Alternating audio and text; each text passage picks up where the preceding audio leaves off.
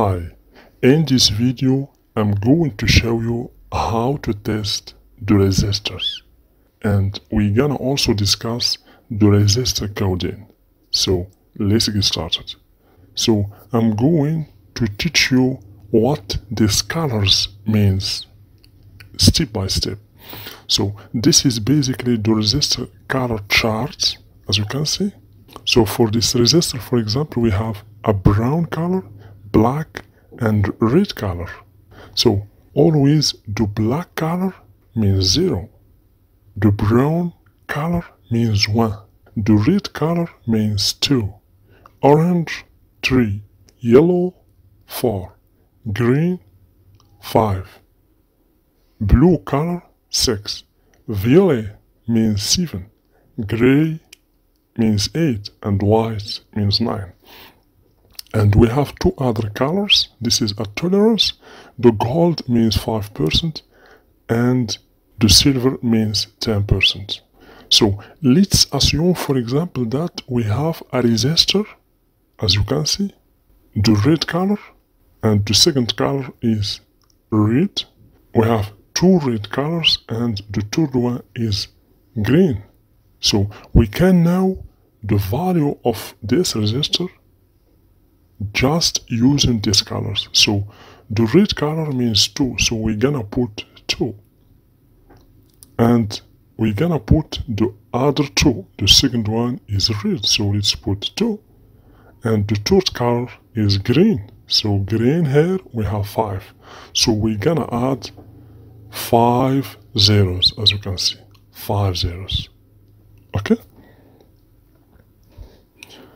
So the value of this resistor, as you can see, is 2.2 mega ohms. Okay? Just using the color chart. Okay? Equal also to 22 10 power 5 ohm. Okay? So let's see another resistor. So let's see that we have the first color is brown. And the second one is black. So we have brown and the black and let's assume that the third one is orange. So the black color we have one. So the second color is black. So for the black we have zero and orange we have three. So we're gonna put three zeros. So here we have 10,000 ohm.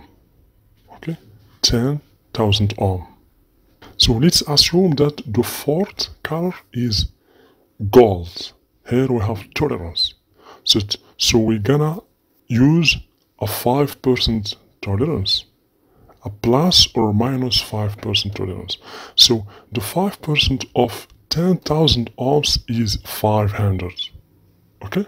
So X, the value of this resistor is between, so is less than 10,000 plus 500 and greater than 10,000 minus 500 equal to 10,500 okay and should be greater than 9,500 okay? So here we use the tolerance. So basically the resistor is correct. The value of the resistor is correct even if the value is decrease to 500 or increase to 500 because we have the gold color. So if we assume that the fourth color is silver here we will apply a 10% of tolerance means 10% of 10,000 ohm is 1000 so here we're gonna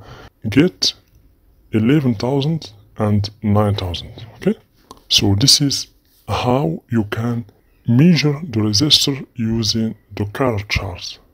Now I'm going to show you the symbols of resistors. You can find two types of symbols. So for the resistors you can find these two symbols. Basically we use these two symbols. Pay attention, do not confuse with this symbol. L is for inductor and R is for resistor. So pay attention, do not confuse the resistor sample with the inductor sample.